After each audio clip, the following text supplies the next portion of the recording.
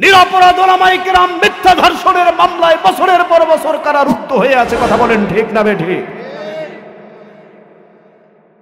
আপনাদের বুকে শুয়ে আছে কোরআনের পাখি। মুক্ত আকাশে যদি বের করে নিয়ে আসতে পারি,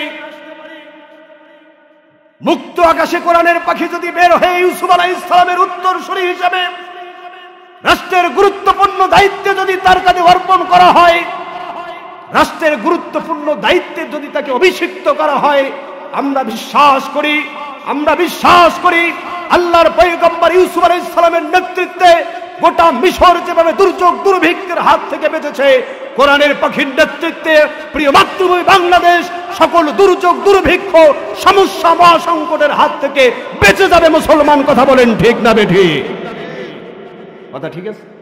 কথা পানির মতো পরিষ্কার। আমার কি করতে হবে? জুলুম পরিহার করতে হবে।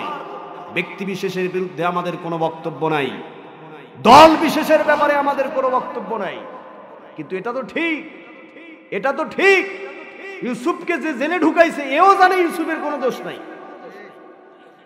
আর ইউসুফের সঙ্গী, সাথী, গোটা দেশ, জাতি সবাই জানে ইউসুফের কোনো দোষ নাই। কি কথা ঠিক না ঠিক বলে? ঠিক না? এটা তো দিনের আলোর মতো পরিষ্কার। এ মহাসত্যকে অস্বীকার করে কোথায় যাবেন? আল্লাহর পয়গম্বর ইউসুফ আলাইহিস সালামের উত্তর সুরিদেরকে খুঁজে বের করে আল্লাহর হস্তে জুলুমের হাত থেকে গোটা দেশ এবং জাতিকে মুক্ত করুন। রাষ্ট্রের কর্তা ব্যক্তির তাদের কাছে আমাদের উদাত্ত আহ্বান। আপনারা যারা দয়া করে রাষ্ট্রের বিভিন্ন পদে চাকুরি করেন, ব্যবসা বাণিজ্য করেন, গুরুত্বপূর্ণ ব্যক্তিদের সাথে উঠা বসা যারা করেন আর যাই হোক, আমাদের ছোট্ট এই আয়োজনের, ছোট্ট এই কথাগুলি হয়তো তাদের কাছে যাবে না, কিন্তু আপনাদের মধ্যে বলা বলি করতে করতে একটা পর্যায়ে, একদিন না একদিন গোটা জাতির, এটি জাতীয় দাবিতে পরিণত হবে, মুসলমান কথা বলেন ঠিক না বেটি হতে পারে। আল্লাহ গোটা জাতিকে জুলমাতের হাত থেকে হেফাজত করুন। জোরে বলেন আমি আরও জোরে বলেন আমি তিন নাম্বার, করতে চাই আমি বলেছিলাম আপনাদের ধৈর্যচ্যুতি ঘটার আগেই আলোচনা শেষ করব ভাইরা আমার। তিন নম্বরে আল্লাহর পরিকল্পনার উপরে পূর্ণ আস্থা এবং বিশ্বাস আমাদের রাখতে হবে। তাবাক্কুল করতে হবে কার উপরে? অমুকে বলছে দুর্ভিক্ষ আসবে আর একজন বলছে, না, ওই উনি মিথ্যা কথা কইছে, দুর্ভিক্ষ, টুর্ভিক্ষ কিছু হবে না। কি ঠিক না বেটি? ভাইরা আমার, কে কি বলল এটা আমাদের কোনো কথা নয়। এগুলো আমরা কানে নেই না। দুর্ভিক্ষ আসুক, আজাব আসুক, আর গজব আসুক যত রকমের সংকট, মহামারী আমাদের উপরে আপতিত হোক না কেন, যদি সত্যি সত্যি গোটা জাতিকে সংকট থেকে বাঁচাতে চাই, তাহলে সত্যি সত্যি আমাদেরকে পরিপূর্ণভাবে আল্লাহর উপরে তাবাক্কুল করতে হবে, কথা বলেন ঠিক না বেঠি আল্লাহর পয়গম্বর মুসা আলাইহিস সালাম আল্লাহর নির্দেশে নীল দরিয়ার দিকে ছুটেছেন। সামনে মহাসমুদ্র, পিছনে ফেরাউনের বিশাল বাহিনী। মনোযোগ আছে আপনাদের? আছে, মনোযোগ আছে? সামনে মহাসমুদ্র, পিছনে বিশাল ফেরাউনের বাহিনী। কিন্তু আল্লাহ নির্দেশ দিয়েছিল, নীল দরিয়ার দিকে ছুটে যাও, মুসা ছুটে গিয়েছে। এবার সামনে যখন মহাসমুদ্র, চারিদিকে যখন চোখ তুলে তাকায়, পানি আর পানি কোনো কুল কিনারা নাই। এবার মুসার সঙ্গী সাথীরা হতাশ হয়ে গেছে। পিছনে ফেরাউনের বাহিনীর দিকে যখন তাকায়, মনে হয় কচুকাটা করে দেবে। আর সামনে যখন মহাসমুদ্রের দিকে তাকায় মনে হয় ডুবে মরা ছাড়া কোনো রাস্তা নেই পয়গম্বর মুসা আলাইহিসসালামের সাথীরা পয়গম্বর মুসা আলাইহিসসালামকে এবার বললেন فلما تراءى الجمعان قال أصحاب موسى إنا لمدركون الله أكبر ফালেম্মা তারা আল জামাআন, স্মরণ করো সেই সময়ের কথা যখন তাদের দুই দলকে আমি মুখোমুখি করেছিলাম। কলা সাহাব মুসা, তখন মুসার সাহাবিরা কি বলেছিল? মুসার সাহাবিরা তখন মুসাকে বলল, ইন্না লামুদুর হে মুসা, আজকে তো আমরা ধরা পড়ে গেলাম, আজকে তো আমরা ফান্দে পড়ে গেলাম। কিসে পড়ে গেলাম? ফান্দে পড়ে গেলাম মুসা। আজকে তো আমরা ধরা পড়ে গেলাম মুসা, এখন কি হবে? এবার সাহাবিদের কথা শুনে পয়গম্বর মুসা সালাম বললেন, পয়গম্বর মুসা সালাম কি জবাব দিয়েছিলেন মুসলমান? সমস্ত দুর্ভিক্ষ একটা জবাবের মধ্যে লুকায়িত রয়েছে। আল্লাহ আকবার বলেন। পয়গম্বর মুসার জবাব আল্লাহ বহু বছর পরে কোরআনে কোট করে রেখেছেন। পয়গম্বর মুসা আলাইহিসসালাম বললেন কলা কাল্লা ইন্না মাইয়া রব্বি সায়াহদিন আল্লাহু আকবার বলেন। মুসার সাথীরা বলছে মুসা সামনে মহাসমুদ্র পিছনে ফেরাউনের বিশাল বাহিনী। ফান্দে পড়ে গেছি মুসা বাঁচার কোনো রাস্তা নাই। মুসা কি বলল জানেন? মুসা বলছে কলা কাল্লা। তোমরা যেটা ভাবছ সেটা আসলে নয়।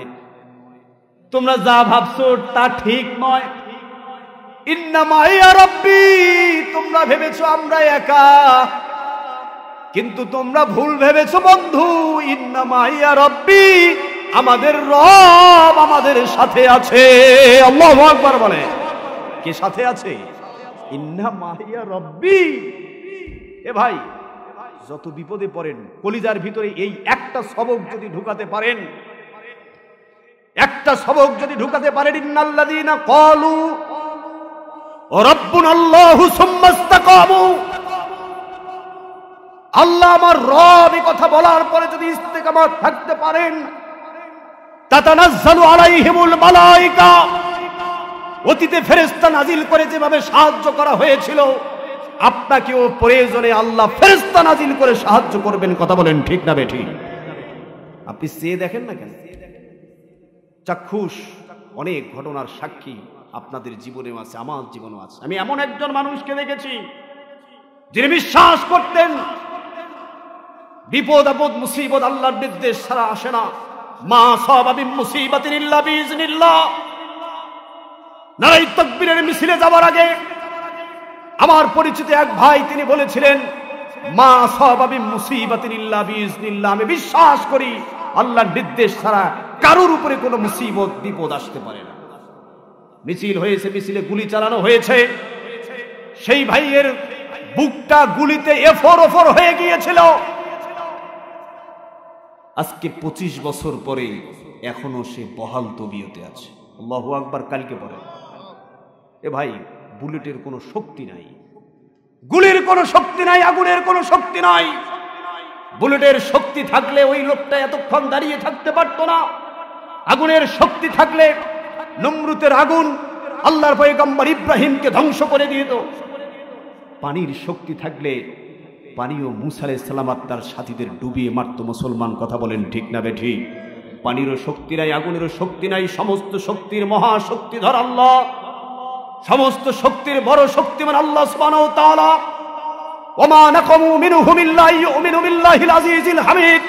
মহাপরাক্রমশালী আল্লাহর উপরে ইমান যখন আনবেন তখন যত বাধা বিপত্তি আপনার সামনে আসুক না কেন, সকল বাধা বিপত্তির বিরোচিত মোকাবেলা করে সামনে আপনি এগিয়ে যাবেন। কোন অপশক্তি আপনার প্রতিরোধ করতে পারবে না, মুসলমান কথা বলেন ঠিক না বেঠি? এত সোজা নয়। আপনি একটু দাঁড়িয়ে থেকে দেখেন। এবার আল্লাহ কি বললেন দেখেন? পয়গাম্বার মুসা বললেন ইন্না মাইয়া রব্বি। বন্ধুরা, তোমরা যা ভাবছ তা নয়। আমাদের আল্লাহ আমাদেরকে বিপদের মুখে ঠেলে দিয়ে পালিয়ে যায় নাই। আল্লাহ পালাই গেছে নাকি? হ্যাঁ? আস্তাক ফিরুল্লাহ বন্ধুরা, তোমরা যা ভাবছ তা নয়।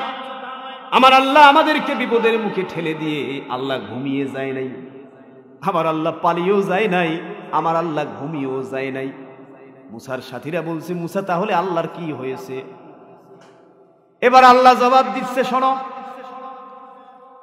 فأوحينا إلى موسى أن اضرب بعصاك البحر فانفلق فكان كل فرق كالتود العظيم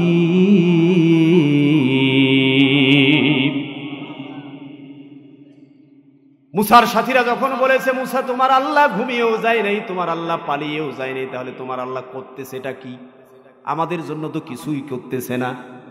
এবার আল্লাহ বলতেছে পাও হাইনা ইলা মুসা। এবার আমি মুসার উপরে ওহি নাজিল করলাম। আমরা বললাম, আল্লাহ মুসার উপরে কি ওহি নাজিল করলেন? আল্লাহ বললেন আনি রিব্যা সকাল বাহার। আমি এবার আমার মুসাকে বললাম, মুসা, তোমার হাতের লাঠি দিয়ে সমুদ্র পৃষ্ঠে আঘাত করো। আল্লাহ বললেন, সমুদ্র পৃষ্ঠে লাঠি দিয়ে আঘাত করার দায়িত্ব মুসার। আর সমুদ্রে মহাসড়ক তৈরি করার দায়িত্ব আমি আল্লাহর। আল্লাহ রাস্তা তৈরি হয়েছে? হয়েছে? রাস্তা তৈরি হয়ে গেছে। বিপদ যখন দুই মুখে, সংকট শুধু না, মহাসংকট। এটাকেই বলে মহাসংকট। রাস্তা বের করেছেন, বিপদ দুইটা রাস্তা বের করেছেন বারোটা। কে করেছেন? জোরে বলেন। সেই আল্লাহ এখনও আছে। সুতরাং বিপদ, আপদ, মুসিবত, এগুলো দেখে ভয় পাওয়া যাবে, হতাশ হওয়া যাবে, আস্থা রাখতে হবে কার উপরে? বিশ্বাস রাখতে হবে কার উপরে? তাওয়াক্কুল করতে হবে কার উপরে? আল্লাহ বলেন, যদি আমার উপরে তাওয়াক্কুল করতে পারো, কি হবে? ومن يتوكل على الله فهو حسبه আর যদি তোমরা আমার উপরে তাওয়াক্কুল করতে পারো বান্দা তাহলে আমি আল্লাহ তোমাদের জন্য যথেষ্ট হয়ে যাব সুবহানাল্লাহ বলেন কি করতে হবে আল্লাহর উপরে আমাদেরকে আস্থা এবং বিশ্বাস রাখতে হবে মনে করতে হবে এই দুর্ভিক্ষ এই দুর্যোগ এই মহামারী এই করোনা ভাইরাস এই হাবিজাবি এগুলি আল্লাহর একটা মাস্টার প্ল্যানের অংশ মাত্র। আল্লাহর একটা পরিকল্পনার অংশ মাত্র। এ পরিকল্পনার শুরু যেমন আছে, শেষও তেমন আছে। কথা বলেন ঠিক না বেঠি? আর আমরা এই পরিকল্পনার সামান্য অংশ মাত্র। সুতরাং হতাশ হওয়া যাবে না, ভীত সন্ত্রস্ত হওয়া যাবে না, মুসলমান, কথা বলেন ঠিক না বেঠি? কথা ঠিক আছে? তাহলে আমরা তিনটা রাস্তা পাইলাম। আমার নোটে মোটামুটি ছয়টা বিষয় আছে, কিন্তু এতগুলো বিষয় আলোচনা করার সুযোগ আজকে হবে না। আমি বলেছি, শুধুই কোরআন থেকে বলার চেষ্টা করেছি। আমি বলেছি যে, দুর্যোগ দুর্ভিক্ষ থেকে বাঁচার তিনটা রাস্তা আমি বলেছি। এক নম্বর হচ্ছে গোটা জাতিকে তওবা ইস্তিগফার করতে হবে। কি করতে হবে? আমি আবার রিপিট করছি। দুই নম্বরে, গোটা জাতিকে জুলুমের পথ পরিহার করতে হবে। আর তিন নম্বরে, যে কোনো পরিস্থিতিতে আল্লাহর উপরেই পরিকল্প, আল্লাহর পরিকল্পনার উপরে আস্থা এবং বিশ্বাস রাখতে হবে। কথা ঠিক আছে? ভাইরা আমার, এটা যদি আমরা করতে পারি, শুধু দুর্ভিক্ষ নয়, যে কোনো পরিস্থিতির মোকাবেলা করা সম্ভব, কথা বলেন ঠিক না বেঠি? ভাইরা আমার, আলোচনা শেষ করার আগে যে কথাটা বলতে চাই। হ্যাঁ ও আচ্ছা আচ্ছা। জি। ষোলোটা হাত পাওয়ালা বাচ্চার পরিণতি কি হলো আমি ভুলে যাই নাই। আর মোহাম্মদ ইবনি সিরিন রহমাতুল্লাহ আলাইহের স্বপ্নের ব্যাখ্যাও আমি ভুলে যাই নাই। আপনারা ভুলে গেছেন নাকি? ঘুম আসছে বাবা? ঘুম আসছে? অপারেশন হচ্ছে লম্বা সময় ধরে। আলোচনাও চলতে থাকল, অপারেশনও শেষ হয়ে গেল। অপারেশন শেষ হওয়ার পরে মহিলা অপারেশন চলতে চলতে যতক্ষণ পর্যন্ত তার জ্ঞান ছিল ততক্ষণ পর্যন্ত একটা দোয়া বারবার পাঠ করেছে, দোয়াটা আবার আমার সাথে পড়েন। আল্লাহুম্মা ইন্নি আল্লাহুম্মা ইন্নি আকবার বলেন। অপারেশন সুসম্পন্ন হয়ে গেছে। একজন নার্স ওটি থেকে বের হয়েছে অপারেশন থিয়েটার থেকে। নার্স এবার ডাক দিয়ে বলছে, সন্তানের পিতা কোথায়? সন্তানের পিতা কোথায়? সন্তানের পিতাকে সবাই মিলে খুঁজতে লাগল, ষোলোটা হাত পাওয়ালা বাচ্চাটা দেখতে কেমন হবে? বিকৃত বিভৎস জন্তু জানোয়ারের মতো চেহারা, ওই বাচ্চাটা দেখতে কেমন হবে? এইটা দেখতে কেমন হবে? লজ্জায় মুখ দেখাতে না পেরে হোটেলের ভিতরে হোটেলের সিপাই যে লুকিয়ে আছে সন্তানের বাবা। হোটেলের সিপা থেকে উদ্ধার করা হলো। নার্স বলছে, ভদ্র মহাশয়, আপনি কি সন্তানের পিতা? মাথা নিচু করে বলছে হ্যাঁ আমি সন্তানের পিতা। বলছে, সুসংবাদ গ্রহণ করুন, সন্তানের পিতা, সুসংবাদ গ্রহণ করুন। আপনার স্ত্রী একটা, দুইটা নয়, চার, চারটি সুস্থ, সবল পুত্র সন্তান জন্ম দিয়েছে। বলে। কয়টা? চারটা। চারটা বাচ্চার হাত পা কয়টা? হিসাব ঠিক আছে? চারটা বাচ্চার হাত পা কয়টা? ষোলোটা হাত পা। আল্লাহর পরিকল্পনার উপরে আস্থা বিশ্বাস রাখতে হবে। সামান্য বিপদ দেখে ভীত সন্ত্রস্ত হওয়া যাবে না। মহিলা কার উপরে আস্থা রেখেছে? আল্লাহর উপরে আস্থা রেখেছে। আল্লাহ ঠকাইছে? আল্লাহ বিপদে ফেলছে? আল্লাহ উদ্ধার করেছে, এমন মহাপুরস্কার দান করেছে, কলিজা ঠান্ডা হয়ে গেছে। কথা বলেন ঠিক না বেটা? চার চারটি ছেলে দান করেছে, পুত্র সন্তান।